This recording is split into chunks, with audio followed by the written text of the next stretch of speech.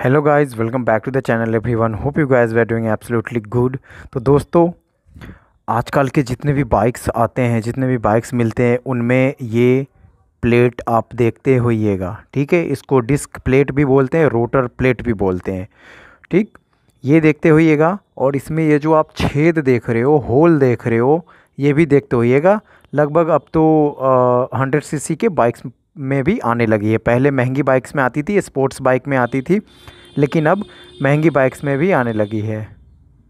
तो गाइज़ ये जो आप होल देख रहे हो, इसका काम क्या है? बस स्टाइल के लिए है या मतलब इसका कुछ सच में यूज़ भी है, इसलिए ये कंपनी क्यों देती है आखिर? तो आज इस वीडियो में हम यही जानेंगे डिटेल में कि आखिर ये छेद जो होते हैं डिस्क रोटर्स पे रोटर्स प्लेट पे ये छेद होते क्यों हैं और इसका काम क्या होता है? इससे पहले मैं आपको थोड़ा इसके बारे हिस्ट्री के बारे में बता दूँ। पहले जो अर्ली नाइन्टीज़ या लेट नाइन्टीज़ में जो बाइक्स आती थी ना, उसमें बाइक्स या कार उसमें ऐसा ऐसा प्लेट होता था मतलब छेद नहीं होती थी। तो उससे होता क्या था? ब्रेक मारने पे ना ये जो प्लेट है ना, ये मेल्ट हो जाता था। मतलब बार बार ब्रेक लगाने पे हाई स्पीड में ब्रेक लगाने पे ओवर हीट होने की वजह से ये जो मेटल है, ये मेल्ट हो जाता था और वो जल्दी ख़राब हो जाता था। और साथ ही साथ ये जो आप देख पा रहे हैं ब्रेक पैड जो है, ये भी घिस जाता था बहुत जल्दी। इसीलिए कंपनी ने इस पर रिसर्च किया, इस पर काम किया बहुत सालों बाद। उसके बाद जब मॉडर्न बाइक्स बनने लगी, उसमें कंपनी ने छेद देने लगे। तो अब क्यों छेद देने लगे? यही चीज़ आगे वीडियो में डिस्कस करेंगे।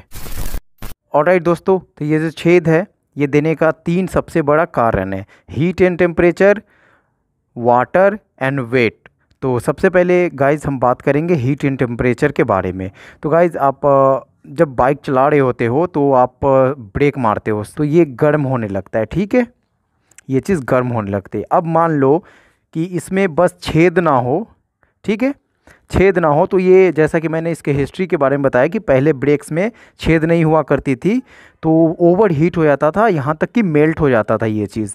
बट अब छेद होने के कारण ये चीज़ ना हीट जो होता है ना, वो डिस्ट्रीब्यूट हो जाता है। मैं आपको एक डेटा दिखा रहा हूँ, पहले ये देखिए।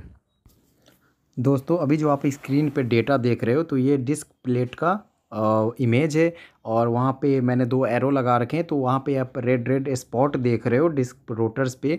तो यहाँ पे साफ़ दिखा रहा है कि लाल वाले एरिया में ना जो टेम्परेचर है, वो मैक्सिमम बढ़कर दो सौ अड़तीस डिग्री तक पहुँच जाता है। आप देख पा रहे हो?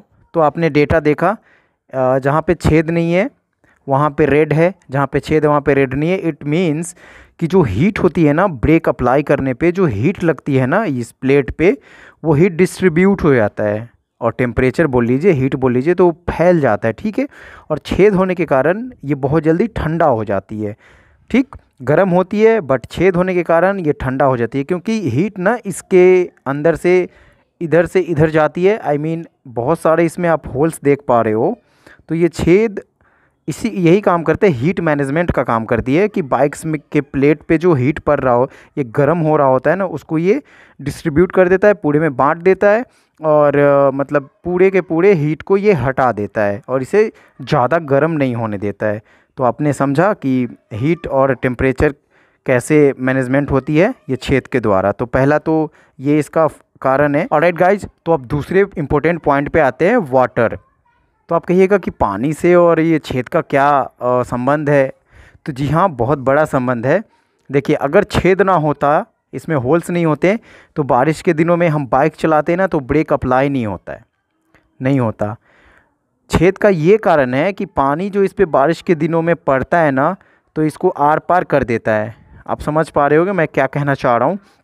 अगर ये मान लो ये प्लेन रहता, पूरा छेद नहीं रहता तो हम ब्रेक अप्लाई करते तो ये जो पैड है ब्रेक पैड ये ठीक से काम नहीं करता। काम इसलिए नहीं करता क्योंकि इस पर फ्रिक्शन बहुत कम होता। आप समझ रहे हो? पानी पड़ने पे फ्रिक्शन बिल्कुल भी होता नहीं। छेद के वजह से पानी पड़ता है तो वो पानी नीचे की तरफ़ गिर जाता है या आर पार हो जाता है इस छेद के द्वारा। और ये जो पैड जब हम ब्रेक अप्लाई करते हैं तो ये पैड अच्छे से फ्रिक्शन बना पाती है, ऐसे ऐसे चाँप देती है, ठीक?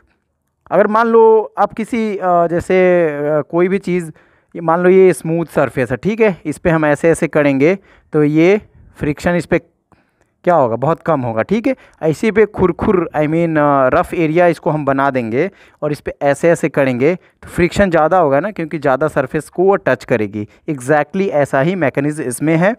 पानी इस पर गिरा रहता है ब्रेक अप्लाई होती है फ्रिक्शन कम होता है। छेद देने का यही कारण है कि फ्रिक्शन ज़्यादा होगा, जैसे बारिश के दिनों में। समझ रहे हो? या पानी गिरा हो इस पर तब फ्रिक्शन ज़्यादा होगा। ये ब्रेक की बाइटिंग अच्छी होगी। ठीक? समझ गए ना? और तीसरा जो इम्पोर्टेंट पॉइंट है, वो है वेट आप कहोगे कि मतलब इतना छेद दे देने से वेट रिड्यूस कैसे हो जाएगा? तो जी हाँ ये एक बहुत बड़ा टॉपिक है और बहुत इम्पोर्टेंट टॉपिक है। इतना इतना छेद देने से ना प्लेट का जो वेट होता है ना, वो रिड्यूस होता है। मान लीजिए इस प्लेट में छेद ना हो नॉर्मल प्लेट हो, ठीक है? तो वेट इसका ज़्यादा रहेगा और इसमें बहुत सारे छेद हैं, ठीक है? बहुत सारे छेद है तो इसमें जो पार्ट्स है, वो हटा तो इससे वेट रिड्यूस हुआ। और आप कहोगे इतने सारे, इतना छोटा हटने से क्या फ़र्क पड़ेगा? जी हाँ फ़र्क पड़ता है। बाइक की जो पूरी वेट होती है ना तो यहाँ से भी मैनेजमेंट होती है। मतलब इतना ये जो कर देने पे ना बाइक के वेट में अंतर आता है, ठीक है? तो यही तीन मुख्य कारण है। हीट एंड टेम्परेचर जैसा कि मैंने बताया कि ये ओवर हीट नहीं होती है और जल्दी से प्लेट को ठंडा कर देती है छेद होने के कारण। दूसरा है जो पानी वाटर इस पर पानी गिरने से इस, आ, इसका अगर छेद ना होता तो फ्रिक्शन बहुत कम होता ब्रेक अप्लाई नहीं होता। छेद होने के कारण फ्रिक्शन बनती है और ब्रेक हम अप्लाई कर पाते हैं बारिश के दिनों में या पानी वानी वाले एरिया में। और तीसरा जो है वेट ये छेद देने से वेट कमता है और पूरी जो बाइक की जो ग्राफिक होती है इसका जो मैकेनिज़्म होता है पूरा जो वेट होता है उस पर असर करती है ये। तो यही तीनों मेन पॉइंट्स है। तो आशा करता हूँ वीडियो पसंद आया होगा और कोई कन्फ्यूज़न अगर हो तो पूछ लीजिएगा। मैं बता दूँगा कमेंट्स में। और आ, मन करे तो सब्सक्राइब कर लेना और मन करे तो इंस्टाग्राम पे भी आ जाना। इट्स मोहम्मद राशिद यहाँ पे आईडी आ रही है। आप वहाँ भी फॉलो कर लीजिए और चैनल को सब्सक्राइब कर लीजिए। और राइट तो मिलते हैं किसी अगली वीडियो में। तब तक के लिए बाय टेक कर खुदा हाफिज़ live your life live your dream boom